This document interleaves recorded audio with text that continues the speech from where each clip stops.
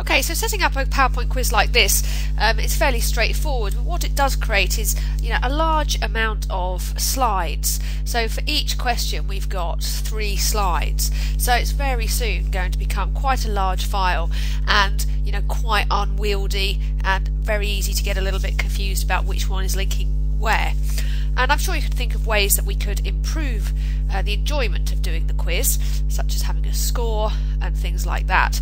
And so what we are going to do is we are going to get rid of the incorrect slide and get rid of the correct slide and I'm going to show you how we can write some code to program our quiz to do what we want it to do.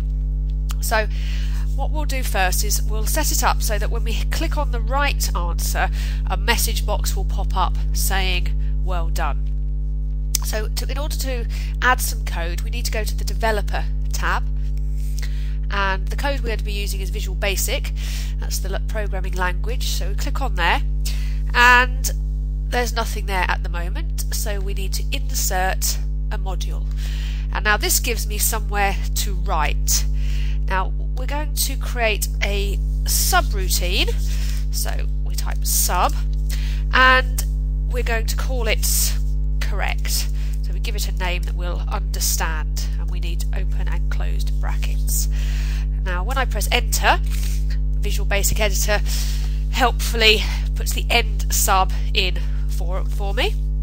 Now we need we want a message box to pop up. Uh, the language for that message MSG box open uh, brackets and then in speech marks we can write what we want it to say. So we'll say, well done.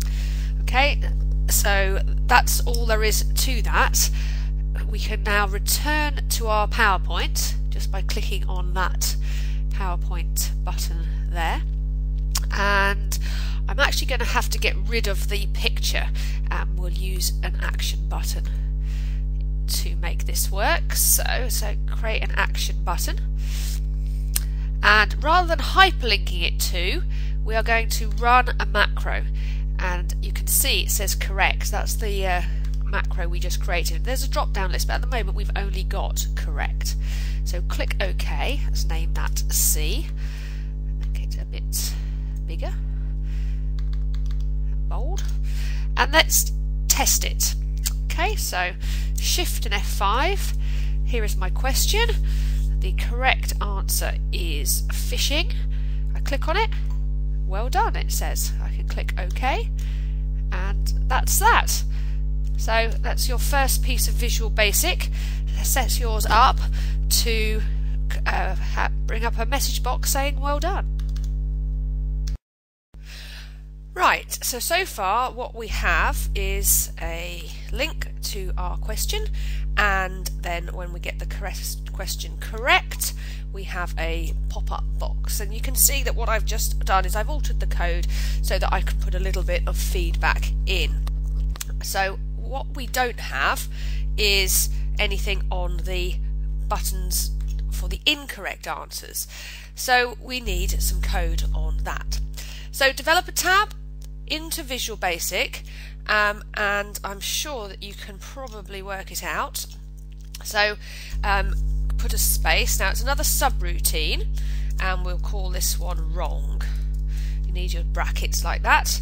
Press enter and the, Visual Basic Editor will put in a line uh, to separate the two subroutines and we'll put the end sub for, in for you and we will type our message box. Notice where the capitals go. With any programming language that you have to learn uh, where to put the punctuation and, and capitals is very important. So we'll put that's wrong. We'll just leave it like that for now and go back into PowerPoint and now we need to assign that macro so get rid of that and the easiest way of doing this is to actually use uh, the action buttons. So, run macro, wrong.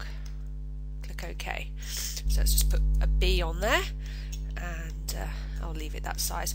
And hunting, let's uh, is that put another action button in. Run the macro wrong. Click OK. And A. Now, my buttons are all the wrong size. They're not the same size and they're not lined up. Hold down the Shift key, you can select them all at the same time. And if you go to Format, you can at least align them all to the right size and here to the to the so they're all in line and here actually I can uh, make them all to be the same size